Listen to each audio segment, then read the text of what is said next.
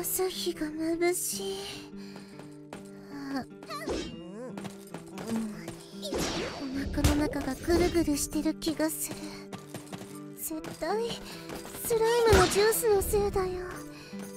なんかこうお腹の底がうねうねしている感じがして。うういくら気に入ったからってあんなに飲んだら当然よ。文句を言ってる暇があったら先を急ぐわよ。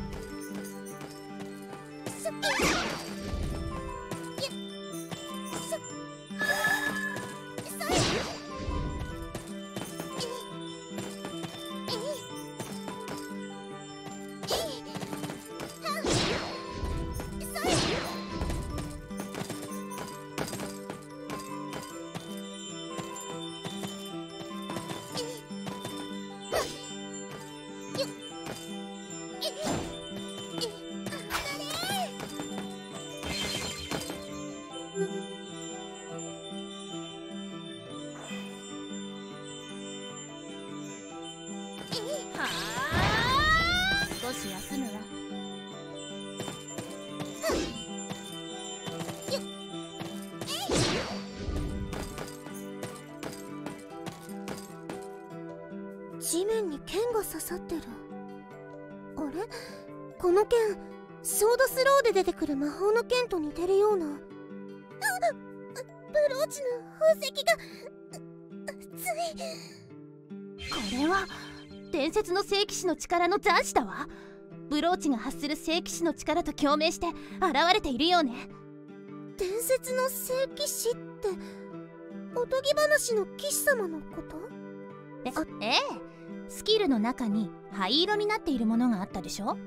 あれは習得のために途方もない修行が必要なのだけれど。この剣から記憶を引き出せばすぐに覚えられるようになるわ。ふん。不思議なことばっかりで私にはさっぱりだけど。地面に刺さっている剣に触れると新しいスキルが習得できるようになるんだね。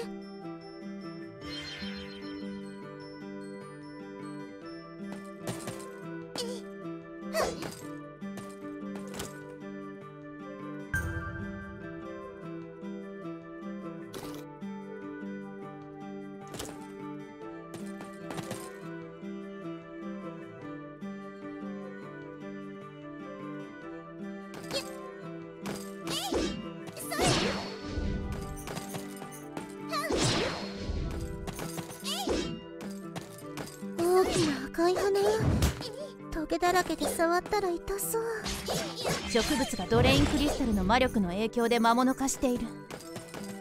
うかつに触れると怪我をするわよ。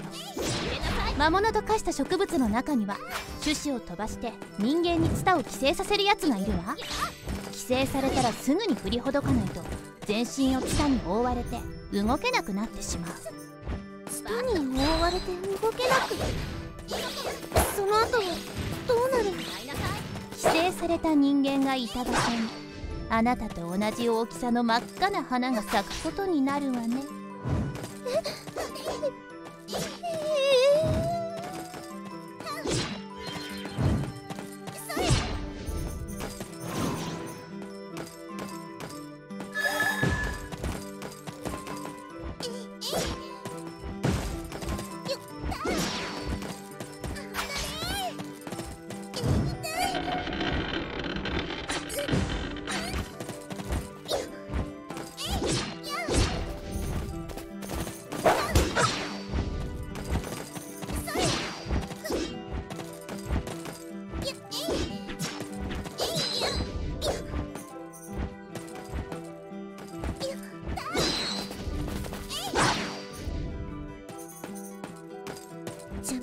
枯れ木があって進めないね。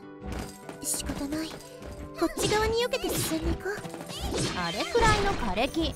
あなたが持っている武器なら簡単に切り倒すことができるわえ？でも避けて進んだ方が早いよね。聖騎士の武器になれるのにちょうどいい練習相手だと思うのだけど。分かったよ。切り倒して進むよ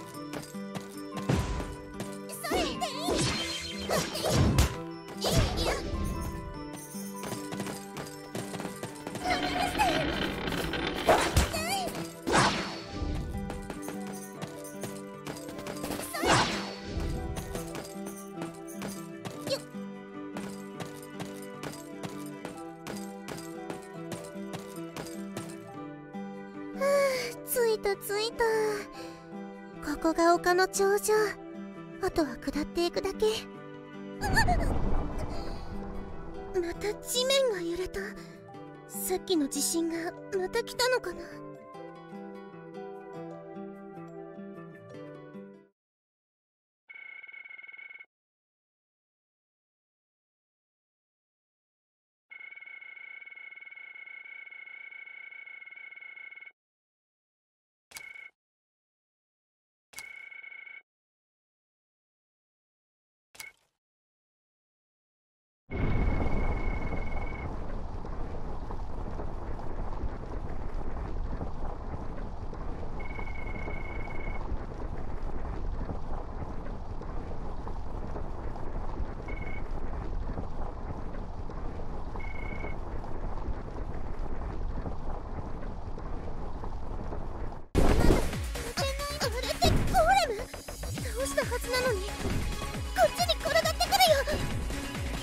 で倒した後に再生したのね。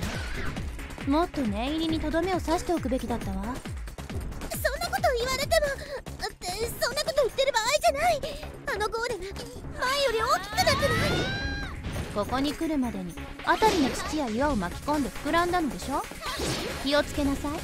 あの巨体に惹かれたらボーンを身につけていてもひとたまりもないわ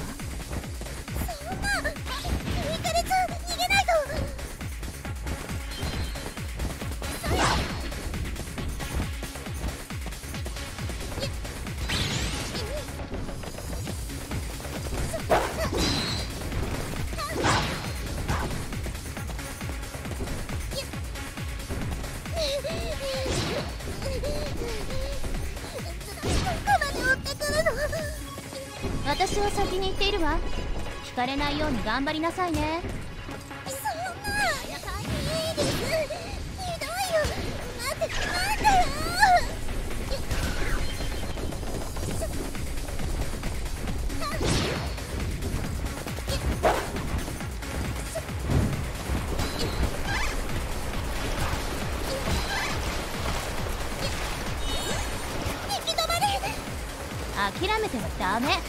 魔法剣で足場を作るのよ。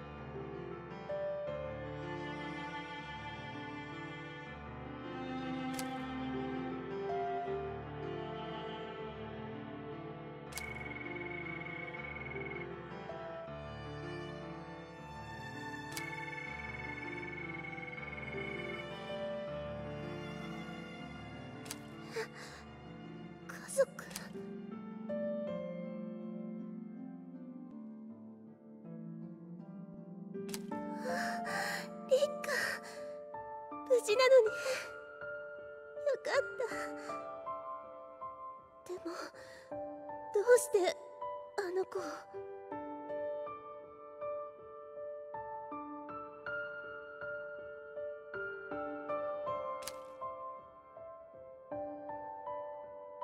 教会で神様にお祈りしたからこれが試練私への